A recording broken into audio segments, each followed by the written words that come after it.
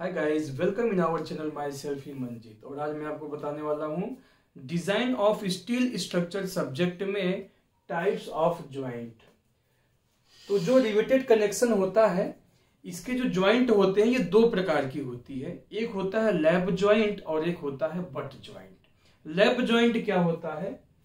The joint in which two members are connected by overlapping each other for a certain length is known as lap joint.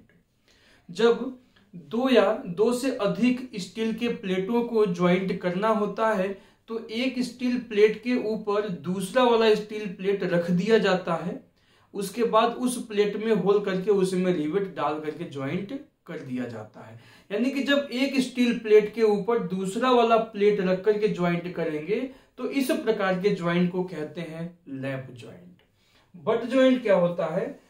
The joint in two members are connected butt against each other by providing a cover plate on one और both sides of the joint known as butt joint जब दो या दो से अधिक steel प्लेटों को but joint के माध्यम से ज्वाइन करना होता है तो दोनों ही स्टील प्लेट को एक दूसरे से सटा करके रख दिया जाता है।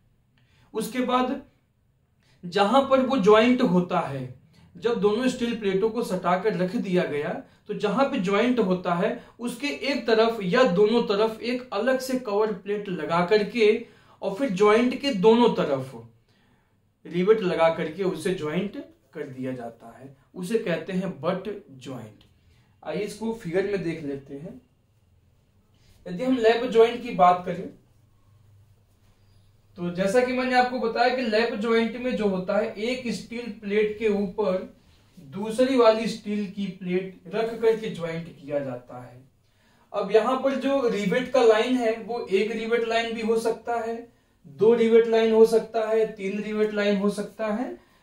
तो वो अकॉर्डिंग टू अपने आवश्यकता अनुसार वो रिवेट लाइन का नंबर जो होता है, एक, दो, तीन, चार हो सकता है।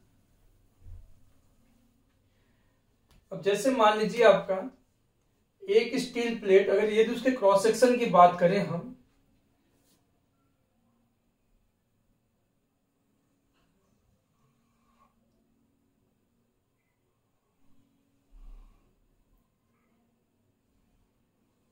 एक स्टील प्लेट ये हो गया। ठीक है। दूसरा स्टील प्लेट ये हो गया। अब यहाँ पर क्या किया गया है कि एक स्टील प्लेट के ऊपर दूसरा स्टील प्लेट रख दिया गया है और यहाँ पर रिवेट लगा दिया गया है। इसे कहते हैं लैप ज्वाइंट। यहाँ पर रिवेट लाइन का जो रो है वो एक ही है तो इसे कहते हैं सिंगली, सिंगल लैप ज्वाइंट।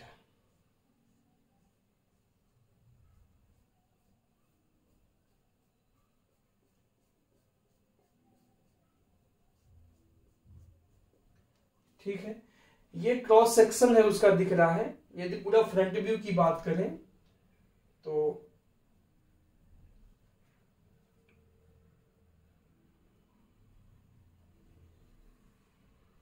एक प्लेट ये हो गया और दूसरा प्लेट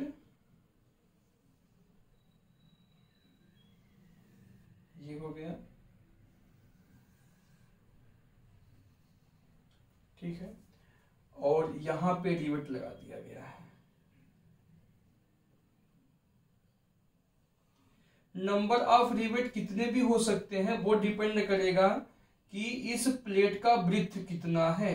बट हमें यहाँ पे क्या है? रिवेट लाइन से मतलब है। यहाँ पे रिवेट लाइन एक है। तो इसको बोलेंगे सिंगली रिवेट लैब ज्वाइंट यहाँ पे जो रिवेट लाइन का रो है, वो एक है। इसलिए इसको सिंगली रिवेट लैब ज्वाइंट बोलेंगे। तो ये है लैब ज्वाइंट यदि बट ज्वाइंट की बात करें,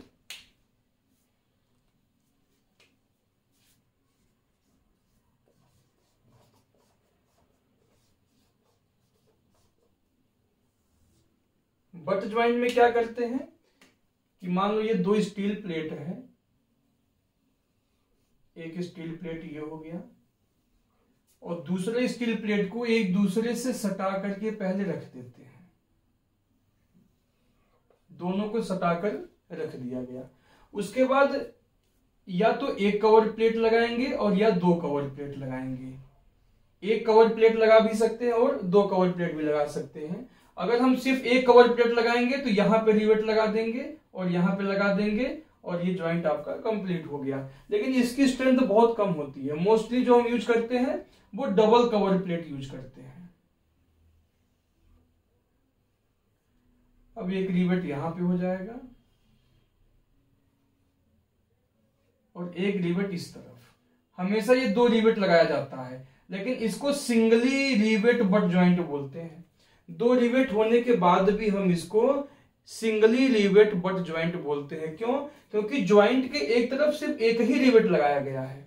जब डबल की बात किया जाएगा तो इस ज्वाइंट के पहले दो रिवेट लगा होगा और इस ज्वाइंट के इधर भी दो रिवेट लगा होगा।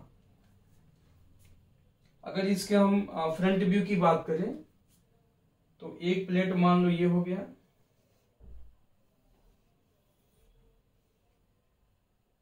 दूसरा प्लेट ये हो गया। अब इसके ऊपर कवर प्लेट लगा दिया गया है।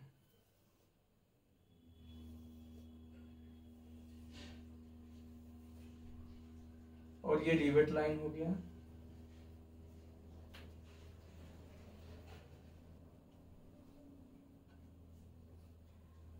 एक रिवेट लाइन पे नंबर ऑफ़ रिवेट कितने भी हो सकते हैं, वो डिपेंड करेगा ब्रिथ ऑफ़ प्लेट पे।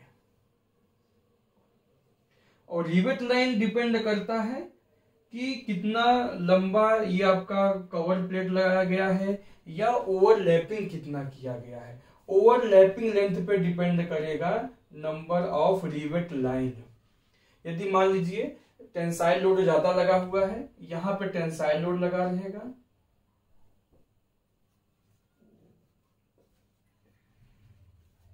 यहाँ पे टेंसाइल लोड लगा हुआ है। ठीक है? तो मान लीजिए टेंसाइल लोड ज़्यादा लगा हुआ है तो ओवरलैप की लंबाई हम बढ़ा देते हैं। इस लेंथ को बोलते हैं लैप लेंथ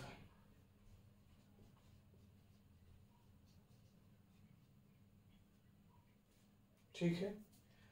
तो ये है आपका सिंगली रिवेट लैप ज्वाइंट और ये है सिंगली रिवेट बट ज्वाइंट